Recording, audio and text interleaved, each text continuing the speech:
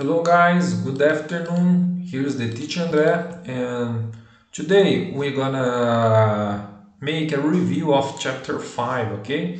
So uh, I prepared to use some extra extras activities, okay? So let's do it. Olá pessoal, boa tarde, aqui é o professor André e hoje vou é, preparei para vocês algumas atividades extras para a gente fixar o conceito que a gente aprendeu no capítulo 5, tá? E também essas atividades vão ser é, utilizadas para a preparação do nosso teste oral, tá bom? Então vamos lá pessoal, primeira atividade, tá? Read and color. O que, que vocês vão ter que fazer? Vocês vão analisar essa imagem, tá?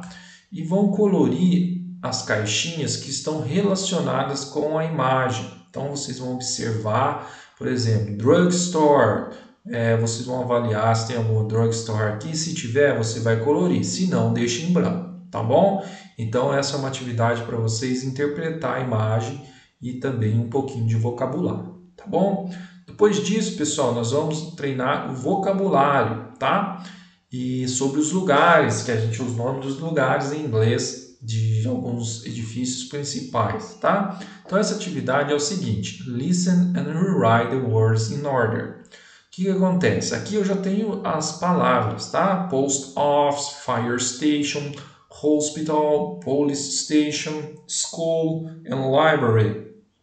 O que, que eu vou falar? Eu vou fazer um ditado para vocês falando o número e a palavra para vocês colocar, reescrever essas palavras que estão aqui só que agora na sequência que foi ditada pelo professor, tá bom? E depois, pessoal, disso, o que, que eu vou fazer? Eu vou ditar o número, tá? E o nome do lugar. Por exemplo, number one, drugstore. Então você vai ter que colocar o número 1 um aqui, tá? Então eu vou falar number two, hospital. Então número 2 aqui, tá? Então nós vamos treinar a parte de ouvido, listening e também de vocabulário. Tá joia? Depois, pessoal, é, sobre direções, para a gente dar direções, localizações de alguns lugares.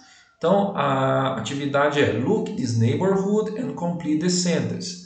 Aqui eu tenho algumas sentenças e aqui uma vizinhança, tá? Então, você vai ter que completar utilizando as palavrinhas corretas, como next to, across from, é, in the corner of, é, between, tá? Então você vai usar essas quatro palavrinhas para completar essas frases, para fazer sentido as frases aqui, tá bom? E depois, pessoal, é um desafio, tá? Esse aqui é um desafio. O que, que acontece? Você vai. É... No, agora, o que, que, que, que é essa atividade? Eu dou as informações sobre as direções e você vai ter que preencher o nome dos lugares, tá? Então, o que, que, que acontece? Aqui é, tem a, a, frase The school is across from the park and the corner of Yellow Street.